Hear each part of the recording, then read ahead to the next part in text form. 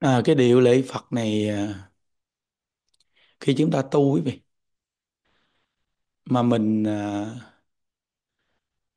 à, giống như mình à, à, lắng động cái tâm mình lại mình nghe. Khi mà những đức mà dụng công tu thì thấy nghe câu Phật hiệu mà cái điều niệm Phật này niệm nó rất là du dương nha quý vị. Giống như khi mình niệm theo mà giống như nó có một cái cái gì đó lắng động tâm mà giống như cái tâm tư mình nó, rất là dạt dào đối với cái cái ờ, điều niệm Phật tu này. Thì để ý đi. Giống như cái lúc mình ờ, lên mình tu mà mình không để ý thì tự nhiên giống như mình ờ, tu nó cho hết thời nó không có cảm giác nha. Nhưng mà khi mà mình lắng động tâm lại mình mình niệm mình niệm giống như cái tâm mình tha thiết vậy đó giống như mình là những đứa con mà giống như bị lưu lạc, khổ đau, mình mình phát một cái tâm rằng là mình kêu cầu cha mẹ mình cứu vớt mình. Khi cái tâm nó mới bị bị lên quý vị dụng công quý vị tu quý vị sẽ thấy cảm giác mà niệm lên danh hiệu Phật và nó dạt dào sao mà khi mà mình lên mình tu mà có được cái cảm giác dạt dào đó, danh hiệu Phật và nghe danh hiệu Phật nó nó nó nó mùi mặn, nó hay thì sao? Thì lúc đó cái thời tu quý vị, tu tuyệt vời. Để ý vậy đó. Nghĩa là, dù là nó không được lâu, nhưng mà nó rất là đặc biệt của một thời tu quý vị. Còn quý vị để ý mà bữa nào mà mình lên mà giống như mình háo hức, hoặc là mình vì một công việc gì đó mình rất bận biểu rồi mình, tâm mình rất là nhiều thứ tạp tâm nằm bên trong nhiều lắm thì lên vì tu thì cái cảm giác dạt dào nó không có. Nên cái thời buổi sáng này rất quan trọng. Cực kỳ quan trọng luôn thời buổi sáng này. Vì uh, nguyên một đêm mình đang nghỉ ngơi nó à, lọc bớt những cái tạp tâm của mình ra.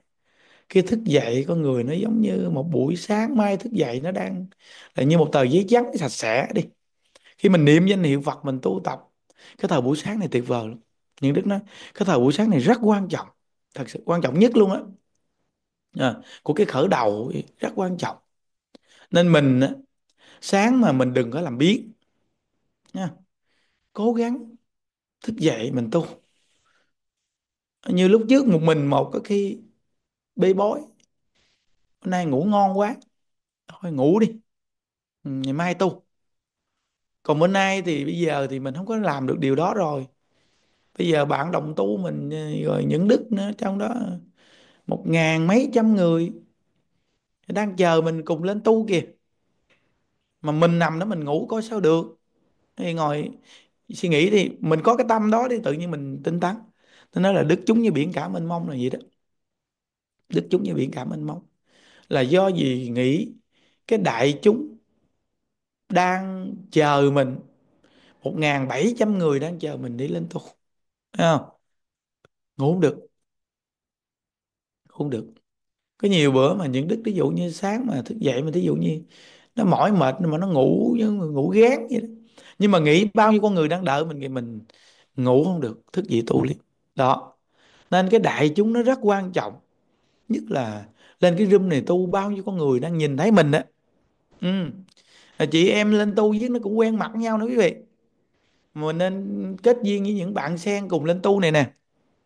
À, khi mình à, lên trước rồi mình gặp nhau mình chào nhau rồi đó. Ví dụ đi đó cũng là một cái cách mà ngày mai quý vị không tu thì bạn bên kia sẽ nhắn tin hỏi ồ hồi sáng sao em thấy chị lên tu?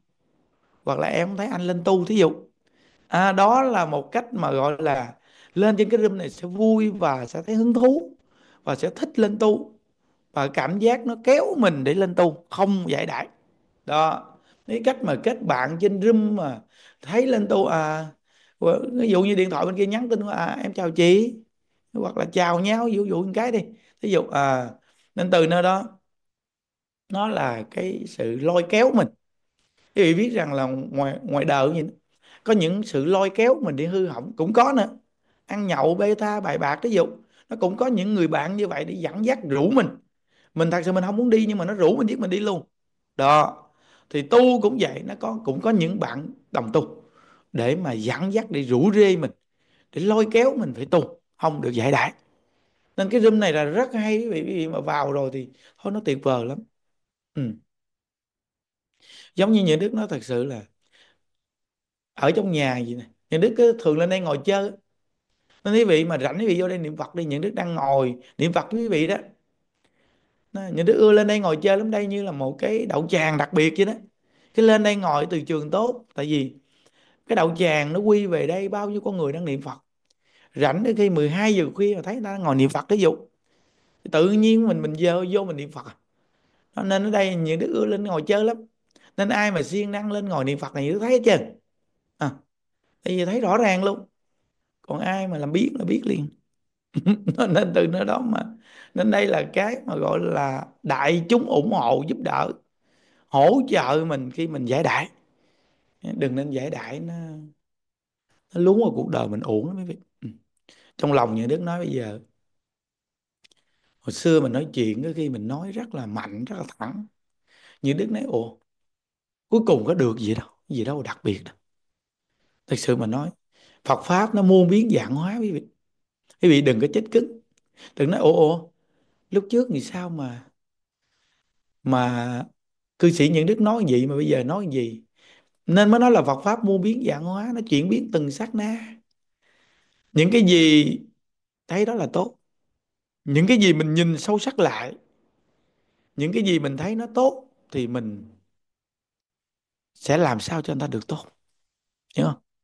Có nghĩa là lúc trước mình nói cái điều đó nó cũng tốt cho người ta nhưng nó tốt chưa tốt, đặc biệt quá.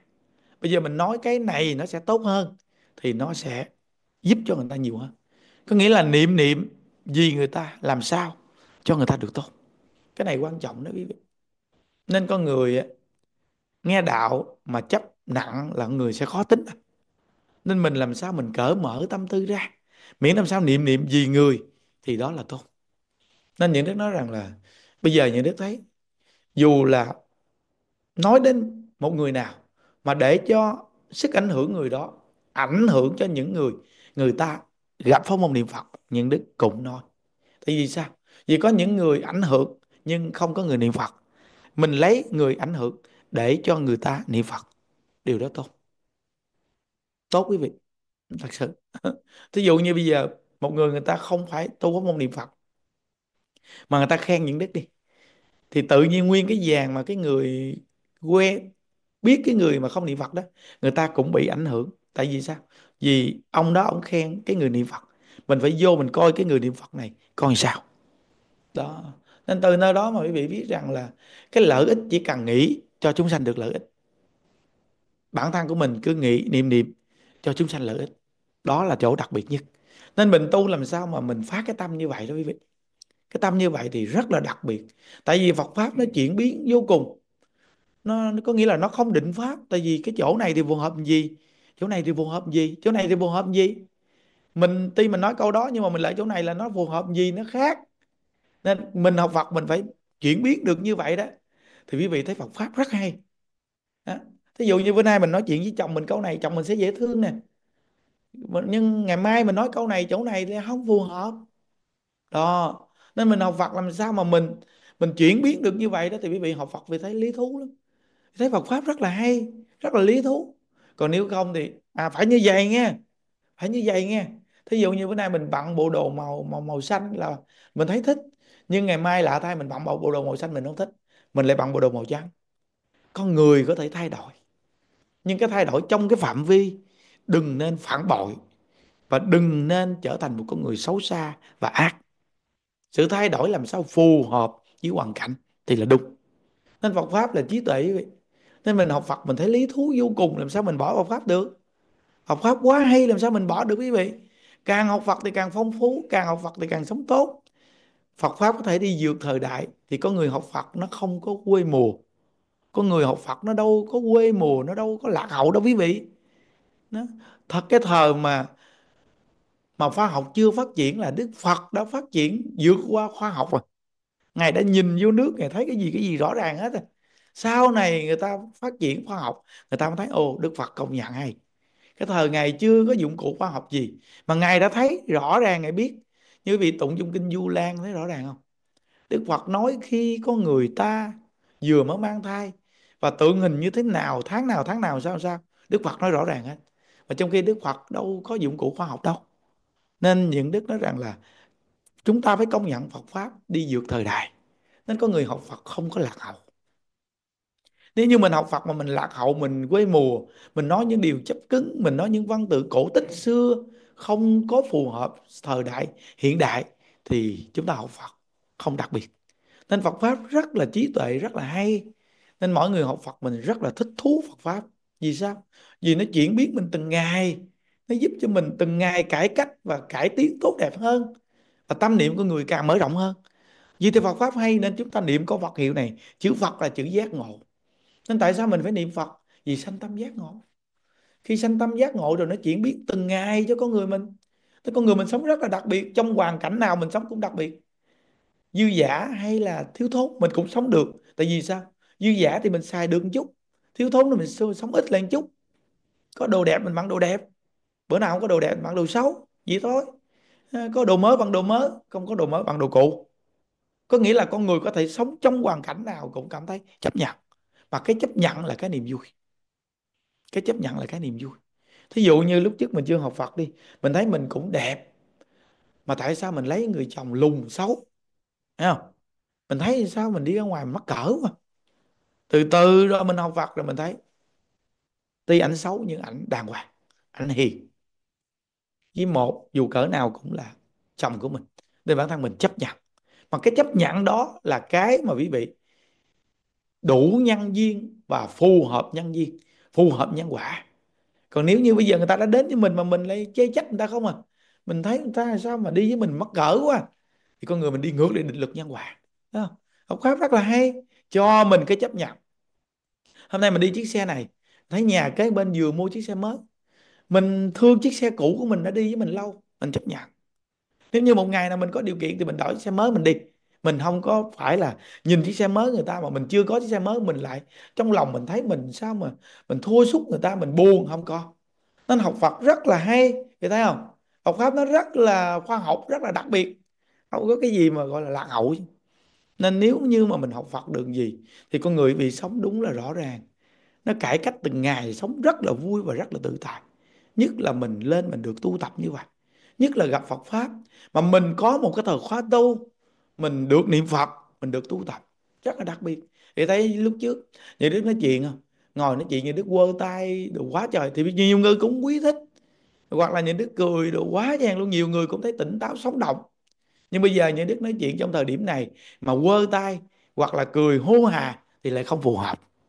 Tại cái thời điểm đó nó quá vui. Và thời điểm đó chùa chiền mình ở trong chùa với các cụ, mình vui vô cùng. Nên mình nói chuyện mình cười hả hê, mình chưa bị cái gì. Mình nói chuyện quá cho nói luôn quý vị thấy không? Giảng la úm um cười hả hê. Còn bây giờ mình xa chùa các cụ đã buồn. Mà trong thời điểm này mình nói chuyện mình lại quơ tay quơ chân rồi mình nói chuyện mình cười hả hê. Thì trong tâm niệm đó có người thiếu tình cảm. Nó nên Phật pháp nó muôn biến dạng hóa nó phù hợp. Nên có những người ta nói rằng là Ủa, lúc trước tại sao mà? Thầy nói chuyện sống động thì cười thì vui vô cùng thầy nói vậy là điều tốt thầy tốt trong lúc đó. Còn bây giờ tại sao con thấy thầy nói chuyện trầm? Mà thầy nói nói là nói trầm như vậy thì nó sẽ trang nghiêm hơn. Ủa, con biết là chọn lúc nào những đức nói là chọn lúc phù hợp. Có nghĩa là Phật pháp nó không định pháp nên nó chọn lúc phù hợp hoàn cảnh để mà mình ngồi nói chuyện. Đó là đặc biệt nhất. Thí dụ như lúc mình đang vui thì vui mình ngồi nói chuyện vui. Nhưng lúc mà gia đình mình có sự cố gì buồn hoặc là cha mẹ bệnh hoạn hay anh em gì bệnh hoạn hoặc có người mắc không lẽ lúc đó mình vui. Mình vui lên nó lại không phù hợp nó nói con người này sẽ vô tình quá. Gia đình có người mắc mà, họ ngồi họ nói chuyện, họ cười, họ giỡn quá chàng. Thấy chưa? Nên không định pháp nên con người, học Phật là con người muôn biến dạng hóa. Làm sao niệm niệm gì người? Thì vị mà học Phật gì thôi, nó quá đặc biệt rồi. Thật sự quý vị mà có một người bạn gì thôi, số 1 luôn. Tại vì sao quý vị chơi với họ? Lúc nào cũng đặc biệt cả hoàn cảnh nào họ cũng có thể ngồi chơi nói chuyện với vị làm cho vị thấy thoải mái và vui. Đó là cái điều mà chúng ta gặp nhau, làm bạn của nhau trong cuộc đời này là quá tuyệt rồi. Thêm cái nữa, mình lại có phương pháp tu quý vị. Nó có phương pháp tu. Nó, thí dụ như giờ mình ngồi mình nghe chia sẻ Phật pháp đi, ngồi ở nhà mình đi, mình ngồi lâu quá mình mỏi lưng, mình rung dây cái đi, nó miễn sao nó thoải mái. Cái nghĩa là cái đó là cái độc lập của gia đình nó thấy không? Hoặc là mình ngồi lâu lâu mình ngáp một cái thì cái đó cũng bình thường thôi. Tại vì cái đó là cái cái cái cơ địa tự nhiên. Chứ ai mà trách mình làm gì? Nó, nó đó là cái mà pháp môn tịnh độ thù thắng là ngay chỗ này nè. Cái pháp môn tịnh độ thù thắng là ngay cái điểm mà mỗi người đều áp dụng được. Như buổi sáng thì tôi thấy có nhiều bé trai nó nó tu với mẹ thấy không? Có nhiều bé gái tu với mẹ. Thí dụ thì mình thấy rằng pháp môn tịnh độ này quá hay đại lão hòa thượng tịnh không thì nói rằng, cái thời cuộc này mà người niệm Phật là người gặp cái pháp đúng mùa. Giống như ngày xưa người ta làm ruộng rẫy, người ta nói, năm nay xạ lúa đúng mùa, nên được bội thu. Còn mình bây giờ, mình tu pháp môn niệm Phật thờ mặt pháp Đức Phật đã điểm hóa cho mình ngay cái chỗ niệm Phật thành tựu. Nên mình niệm Phật trong thờ mặt pháp này là đúng mùa. Đúng mùa đó quý vị mà cũng là hội tụ thiện căn đầy đủ để mà ngay thờ mật pháp mà gặp pháp môn niệm Phật. Quý vị coi, nếu ngoài pháp môn niệm Phật chúng ta không dụng công được. Mình khó dụng công. Như vậy mà pháp môn niệm Phật này bây giờ sáng nào chúng ta cũng một ngàn bảy trăm người chúng ta cùng niệm Phật, cùng tu nè. Thì thấy không? Nó mà tu xong mình ngồi mình tán tán tịnh độ một chút quý vị mới thấy. Ồ, thì ra Phật pháp hay gì ta? Con người mình từ đó giờ sao mình khó gì? Hồi đó giờ mình cứ trách ông chồng bà vợ mình là tính như vậy như vậy. Khó khăn như vậy bây giờ mình nghe cư sĩ nhân đức ông nói như vậy rồi mình thấy à thôi cái này là tại mình khó. Chứ ngoài ra mình chấp vào cái này là mình khó, chứ không phải tại ổng đâu. Thôi mình tha thứ cho ổng đi. Một chút mình ra ngoài mình nói, anh ơi, em sai à. Hồi đó tới giờ, em cứ chấp cứng rằng là anh như vậy như vậy là không được. Bây giờ em nghe cư sĩ nhân đức nói, em mới biết rằng em là người chấp đặt khó khăn, em sai. Khi mình vừa nói mình sai, cái là người ta cũng thấy người ta cũng có cái sai. Nên con người với con người đến với nhau, thật sự quý vị, cái sự đụng chạm nó chưa đến nổi đâu quý vị. Có khi trong hoàn cảnh đó, người ta bị cái tâm, người ta bị cuốn hút gì thôi. Chứ thật sự thì người ta không có sai. Nhưng mà là do mình chấp vào, tại sao đối xử với tôi như vậy? Mà giữa hai người nó xa nhau luôn, nó không hàn gắn lại được. Nên mình nên cho nhau cơ hội. Thí dụ như lúc những đức bị tai tiếng, bị này, bị kia đi. Những anh em huynh đệ, những đức hoặc những người thân bên cạnh, những đức họ nghe bị bị tác động, họ sợ quý vị. Họ sợ thì họ cảm thấy giống như chở mặt quay lưng với mình vậy đó. Nhưng thật sự lương tâm của họ không muốn gì đâu quý vị. Khi nó bình tĩnh lại, khi nó trở lại bình thường gì nè, trong lòng họ hối hận lắm. Thì bản thân của mình nên suy nghĩ điều này để cho nhau cơ hội. Dù cỡ nào mình cũng biết nhau mà. Tại sao mình lại nói, ồ, tại sao đối xử với tôi gì lúc tôi gặp sự cố, tại sao quảnh mặt quay lưng với tôi? Mình cứ chấp cái câu là, tại sao quảnh mặt quay lưng với mình? Thì con người mình lại mắc bạn còn nếu như mình mở rộng tâm lượng mình ra tại vì lúc đó người ta bị tác động, nếu như mình đặt vào người ta mà bị tác động, mình cũng cảm thấy sợ. Lo sợ gì bị tác động gì phàm phu mà, quý vị, bình thường. Nên lúc mà mình trở lại gì mình phải mở tâm ra. Khi mình gặp họ hoặc mình nói chuyện với họ, mình nói rằng không có gì cả. Nếu như tôi đặt vào anh, thì lúc đó tôi cũng bị ảnh hưởng và tác động và bị hụt hẳn không sao đâu anh. Không sao đâu chị. Chuyện đó bình thường lắm. Chúng ta vẫn là bạn thì người ta càng cảm nhận mình sâu sắc hơn quý vị. Nhưng đức nghĩ rằng nếu mình sống mình như vậy, thì quý vị quá tuyệt vời. Có nghĩa là đừng có nên chấp cái ngày hôm qua. Cái hôm qua đừng nên chấp mà nên lấy cái ngày hôm nay để xoay chuyển cục viện của ngày hôm qua. Nó trở thành tốt hơn. Như vậy thì quý vị là người có rất nhiều bạn, mà tâm lượng quý vị cũng rất là lớn. Chơi với bạn mình rất là bao dung ha có nghĩa là trong cái thời điểm mà những đức mà tai tiếng này kia nhiều thì nhiều người bên cạnh như đức ta sợ có những người người ta phải tránh xa nhà đức luôn. Nhưng mà xong rồi người ta cảm thấy thương mình và người ta nghĩ đến mình. Không khoảng thời gian rất dài mà để giúp người ta.